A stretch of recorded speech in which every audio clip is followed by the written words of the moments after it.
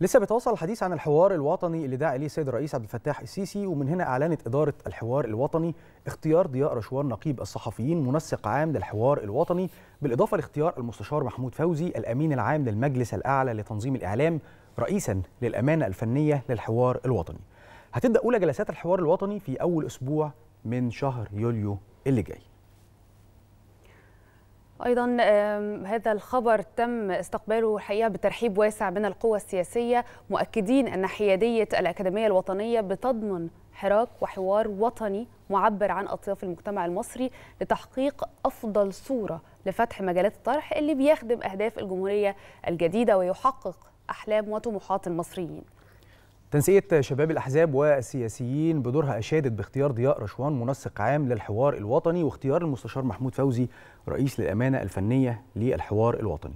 أكدت التنسيقية أن الإجراءات المعلنة وفق بيان الأكاديمية الوطنية للتدريب بتكفل المشاركة الفعالة لإدارة الحوار الوطني مع ممثلي مختلف الأطراف والشخصيات العامة والخبراء وصولا لمخرجات تخدم صالح المواطن المصري. وفي نفس السياق أيضا استقبل حزب مستقبل وطن البيان بكل ترحاب ووضح الحزب إن أولى مهام المنسق العام للحوار الوطني متمثلة في بدء التشاور مع القوى السياسية وكل الأطراف المشاركة لتشكيل مجلس أمناء الحوار الوطني من ممثلي كافة الأطراف والشخصيات العامة والخبراء. كمان حزب إرادة جيل رحب باقتراح تشكيل مجلس أمناء للحوار الوطني من 15 عضو وتأكيد الأكاديمية الوطنية للتدريب على التزامها بنهج الحيادية والتجرد التام في إدارة الحوار الوطني والحرص على أنها هتؤدي مخرجات الحوار لنتائج هدفها خدمة الوطن وصالح المواطن. أيضا حزب الإصلاح والنهضة أشاد بآلية العمل من تكوين مجلس أمناء للحوار الوطني واستمرار إدارة الحوار في تلقيها مقترحات وطلبات للمشاركة عن طريق الموقع الإلكتروني الخاص بها.